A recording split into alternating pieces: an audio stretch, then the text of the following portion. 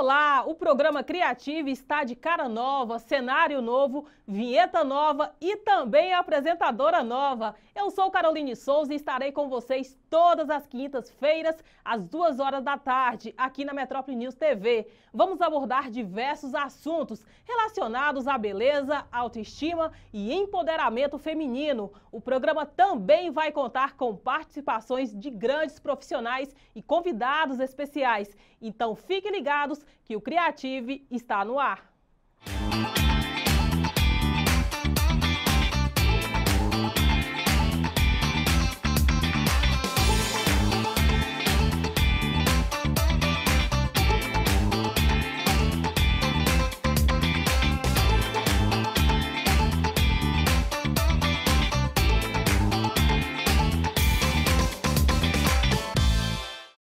Fomentar o empreendedorismo feminino é fundamental para que as mulheres possam aumentar seus rendimentos, gerar empregos e ter sustentabilidade no mercado e, sobretudo, ser independente e protagonistas de suas vidas. Nos últimos dois anos, a proporção de mulheres empreendedoras passou de 38% para 45%. Olha que notícia boa!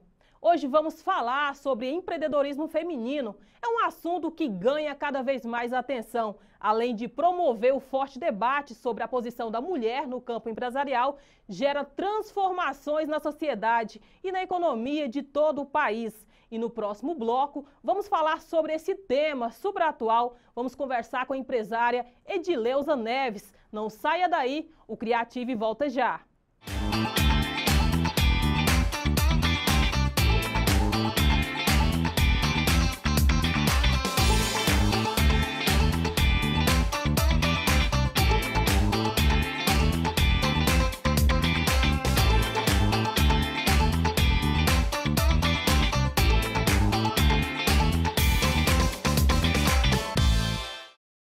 De volta aqui com o programa Criative. E agora no segundo bloco, estamos recebendo a empresária Edileuza Neves. Boa tarde, Edileuza. Boa tarde. Seja bem-vinda. Muito obrigada pelo convite. Edileuza, conta pra gente como você começou sua história no ramo do empreendedorismo, começou a empreender. Então, eu comecei com vendas de roupas já há mais ou menos uns 15 anos, né? E de quatro anos para cá, eu abri uma, uma loja física. Essa loja ela fica situada na Nova Suíça. E assim, comecei realmente como sacoleira, indo até os clientes em casa. Comecei, gente, do, do zero mesmo, de baixo. E fui crescendo até chegar realmente a montar uma loja física. É difícil, muito difícil. Ainda mais os tempos que a gente tem vividos, não só agora com, com a pandemia, mas até antes mesmo da pandemia, a gente já estava em crise, né? O país já em crise, muita gente com muita dificuldade no ramo de comércio, de roupa. Então, assim, chegou a pandemia, aí complicou um pouquinho mais, né? Ou um pouco mais. Então, assim, tem sido momentos de superação, é, como se diz o ditado, é, matando um leão por dia. E estamos aí. Você disse que você abriu sua loja tem cinco meses, é isso? Quatro física, anos. Física, né? Física, é, quatro anos. Quatro anos, né? Isso. Ah, sim, porque eu pensei que já tinha sido o período da pandemia, mas não. Não. Né? Na pandemia, você se reinventou, é isso? Me reinventei na pandemia. É, eu sempre tive muita dificuldade para aparecer em público, para aparecer em redes sociais. É, na minha loja sempre paguei influenciadora, modelo, para poder estar tá provando, fazendo provadores, né? E assim, é, sempre elas falavam, por que, que você mesmo não, não, não veste a, as roupas da sua loja, você mesmo faz um provador? E eu sempre com muita dificuldade, bem travada mesmo. Então, o que que acontece? Na pandemia, eu me vi assim, numa situação daquele ditado de novo, ou vai ou racha. Da então, necessidade, né? Necessidade extrema. Então, eu tive que ir, eu tive que me jogar. Falo para as pessoas que, assim, como eu, tem dificuldade de aparecer em rede social.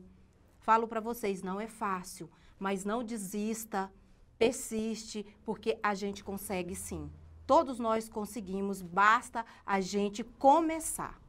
Porque rede social hoje, Edileus, é uma forma de você ficar perto dos seus clientes, de criar intimidade mesmo, relacionamento, né? Relacionamento, exatamente. Por quê? Porque é, a rede social em si, hoje em dia, está muito voltado para o Instagram. Então, o Instagram é o seguinte, se você mostra só fotos, só corpo padrão, hoje em dia quase ninguém tem corpo padrão. Então, você tem que mostrar a realidade a realidade do corpo das mulheres brasileiras, das mulheres em comum. Então, assim, é, acaba que se você ficar mostrando muito corpo padrão, corpo modelo, o que que acontece? Muita gente não se identifica e acaba que o seu Instagram passa a ser é, um Instagram robótico. Então, você tem que aparecer para o quê? Para mudar tudo isso e passar para o seu cliente empatia, que aquele Instagram seu é humanizado. Então você realmente, como dona de loja, como influenciadora, realmente tem que passar isso, tem que passar humanidade, humanizar o Instagram. E o nosso programa, Edileus, ele vai tratar sobre isso, sobre autoestima, sobre ser de verdade nas redes sociais, porque eu acho que isso que chama a atenção, que as pessoas realmente gostam, né? Exatamente. Que as pessoas gostam realmente é do, assim, ver o seu cotidiano. É, o que você faz, é realmente humanizar. É assim, tipo assim, é, passar para as pessoas que você tem uma vida, por trás dali daquele Instagram. Não é só aquele, aquela beleza. Porque a, ali, gente, a gente é humano. A gente é ser humano. E assim, é, no início que eu comecei a gravar, a fazer provadores, e que ainda não estou é, 100%, ainda erro, ainda faço vários, né, vários vídeos, aí volto, faço de novo, não ficou bom. Eu tenho um pouquinho assim de toque, perfeccionismo, mas assim, tá indo. E falo para vocês, quem está aí que vai começar, não desista, permanece que consegue. E vou falar uma coisa para vocês, não é fácil. Não é fácil, por quê? Porque a gente é, coloca defeito, é porque a gente tem medo das críticas, a gente às vezes precisa investir um pouquinho mais na gente. E assim, tem que passar. É, não é que a gente tem que passar o perfeccionismo de beleza. É porque, tipo assim, por exemplo, é, a pessoa vai se identificar com você. Então, alguma coisa você tem que passar para a pessoa se identificar. Vocês estão me entendendo? A internet hoje, a gente sabe que tem muitas críticas, mas eu acho que passa esse lado verdadeiro, esse, essa cotidiano mesmo, de verdade, eu acho que faz gerar esse relacionamento com o cliente e automaticamente criar vendas, gerar vendas, é isso? É que é o mais importante. É o mais importante que né? os lojistas buscam, né? Exatamente, porque a gente lojista busca isso aí. Não é só mostrar beleza, não é só mostrar um corpo bonito, uma roupa bonita. A gente está ali mostrando tudo isso, mas que isso também venha gerar o quê? É, venda e dinheiro no nosso caixa. Edileus, e para as pessoas que querem aparecer, quer fazer um story, mas tem vergonha, qual é a sua dica para começar? Gente, eu vou falar um negócio para vocês. Tem que começar. Perfeito no início não vai ser. Então, assim, começa, é como eu tô falando, erra, volta, faz de novo. Nem que você tem que fazer 20 vezes, mas faça começa, você tem que começar. Assim como eu, que tinha é, e tenho ainda muitos travamentos para poder fazer vídeos e tal, eu ainda tenho muitos erros, tenho muito que aprender, mas assim, tem que começar. É, sabemos também que tem muitas pessoas, muitos comerciantes que estão a, a ponto de desistir devido à pandemia, é, não conseguiu pagar o aluguel, é, Dileuza, qual é o conselho, qual é a dica que você dá para essas pessoas que estão querendo desistir? Olha, eu não vou falar para você, para vocês que foi fácil passar aí por esses quatro meses nesses decretos de abre e fecha loja. É, foi muito difícil, despesa de loja física não é baixa, é muito alta, é, são muitas, muitos impostos para a gente pagar e tal é, fornecedores, mas o que eu tenho para falar para vocês, não desistir. Jamais vocês desista. é, assim, nem que esteja ali, ó, no fundo de vocês uma esperança, agarre nela, começa, se reinvente de alguma forma e você pode ter certeza que você supera, como eu estou superando e vou superar. Ainda tem muito, muito para eu superar, mas a gente vai conseguir e está conseguindo. E para quem quer começar no mercado, para quem está com aquele dinheirinho ali parado, pouquíssimo, mas quer investir, o é, que, que você faria? O que, que você fala para eles? Eu falo o seguinte: comece. Comece, mas comece é, sem investir muito na questão de já ir abrindo uma loja física de cara. Não. Comece em casa, investe em rede social, é, principalmente Instagram. Por quê? Porque é uma janela. Ali é um leque que você abre para mostrar o seu produto. Então, se você tiver que abrir e investir, investe no Instagram. Não abre loja física no momento, não é época para isso. Ainda não estamos na época de abrir loja. Então, assim, investe em quê? É, em rede social, vendas online, porque as vendas online têm crescido assim, grandiosamente. Então, é isso que eu tenho para falar. Um bom atendimento também, né, Dileuza? Um bom atendimento, com certeza isso aí é 100%. 100% das vendas está em atendimento. Se você não tem um bom atendimento, que seja não só na, nas vendas online, né, na loja virtual, como também até na presencial. Com certeza. Atendimento, gente, é tudo.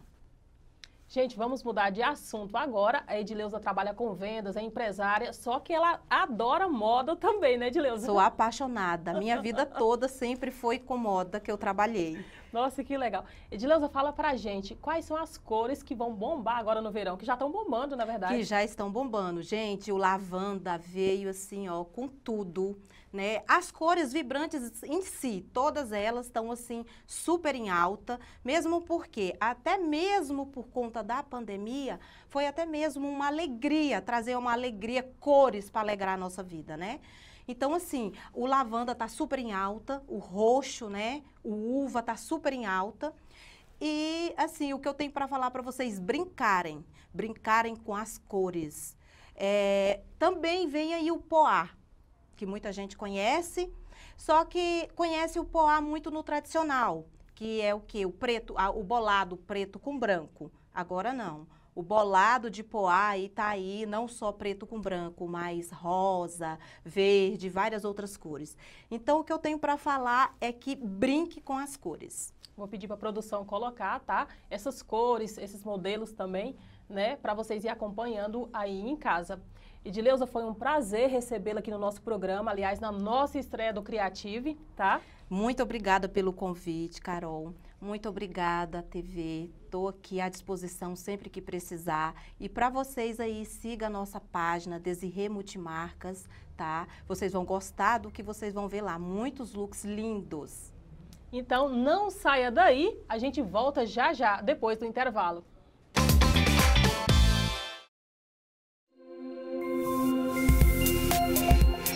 Você está assistindo Metrópole News TV. Quando, onde e como é você que decide.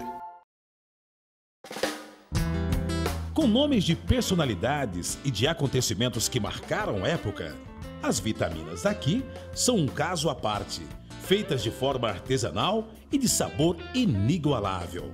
No setor oeste, coração de Goiânia, a nostalgia e a excelência em qualidade estão a seu dispor. Adormecida pela dinâmica da cidade, a Fonte do Paladar guardou seus segredos a sete chaves e agora está disposta a lhes mostrar o resultado. Isso mesmo, a Fonte do Paladar está de volta, trazendo as boas e nostálgicas vitaminas, o cafezinho, o mesmo sorvete, com a mesma receita e o mesmo amor para que os antigos fregueses recordem a maravilhosa época e para que os novos possam ter um pouco da experiência dos tempos de outrora desta maravilhosa cidade.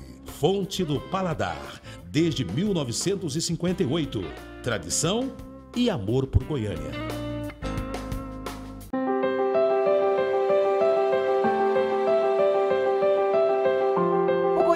Conhecimento transforma o nosso futuro. Por isso, no Colégio Unos, o aluno recebe uma educação que o estimula todos os dias a novas descobertas e ampliamos sonhos com uma educação inovadora que leva a grandes conquistas. E fazemos isso juntos, no ambiente de acolhimento, amizades e com valores para a vida. Colégio Unos, um centro educacional de referência, inovador em suas propostas e práticas pedagógicas, na formação de cidadãos críticos, conscientes e empreendedores. O Colégio Unos oferece Ensino Fundamental 2, Ensino Médio e Pré-ENEM. Avenida José Leandro da Cruz, Setor Jardim Luz, Aparecida de Goiânia. Telefones 62 3941 7970 62 99299 5450. uma moderna infraestrutura, a escola americana conta com salas de aula projetadas para possibilitar que a criança interaja em ambientes estruturados. Cada campo de experiência possui material pedagógico próprio, colaborando para ampliação do repertório de linguagem, construção da identidade e o desenvolvimento da autonomia. O espaço conta também com salas multimídia, playground, teatro, sala de brinquedos, sala de estudos, biblioteca atualizada, informatizada e área coberta. A Escola Americana Goiânia é mantida pelo CCBEL, que conta com a Education USA, que promove o ensino superior nos Estados Unidos e orientação para ingressar em universidades americanas. O Education USA também oferece programas de intercâmbio cultural para vários países, assessoria para contato entre universidades brasileiras e americanas, aplicação dos principais testes de proficiência, tudo isso gratuitamente. Escola Americana, excelência em educação bilíngue. Endereço: Rua C242, Jardim América, Goiânia. Telefone 62 3096 1212.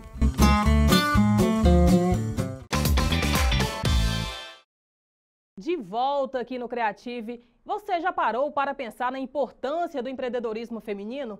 O movimento tem provocado transformações no mercado de trabalho, oxigenando as ideias e agregando em diversidades. Personalidades como Camila Farani e Luiz Helena Trajano colocam o Brasil entre os celeiros mundiais de empreendedoras de sucesso, inspirando mais mulheres a assumir posições de destaque no mundo dos negócios. Que orgulho dessas mulheres, né, gente? E olha só, hoje recebemos aqui no Criative a empresária Edileuza Neves. Mas fiquem ligados que no próximo programa vamos ter mais convidados especiais. Obrigada pela sua companhia e fiquem com Deus. Música